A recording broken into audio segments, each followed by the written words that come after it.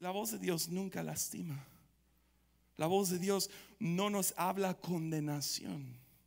La voz de Dios no nos avergüenza y no deshonra a otros. La voz de Dios siempre expone nuestro corazón, pero lo expone para traer sanidad. Y aunque se sienta que duele, no fue la razón por la cual te está hablando. No, no vino para lastimarte, aunque duela. No vino para avergonzarte, aunque te exponga.